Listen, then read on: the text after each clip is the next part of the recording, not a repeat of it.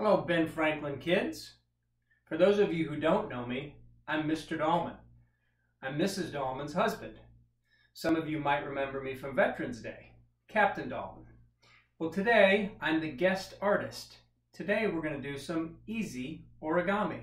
This is some fun stuff to do at home. Today we're going to make a dog.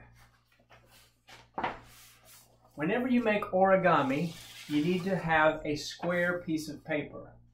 Now, if you have a rectangular piece of paper, I'm going to show you how to make a square.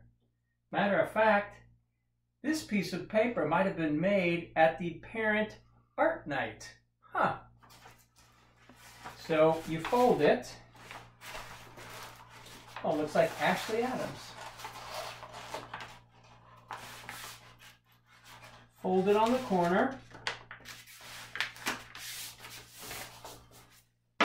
Get the trusty scissors. Cut right along that edge.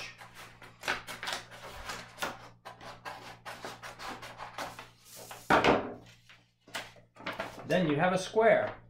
The first step is to fold it in half. So we've already done that. Then we're going to fold the ears down.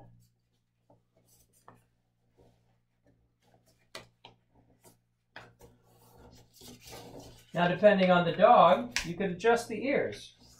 We always had a wire haired dachshund, but maybe you have a bulldog or some other dog. And this is an easy origami dog right there.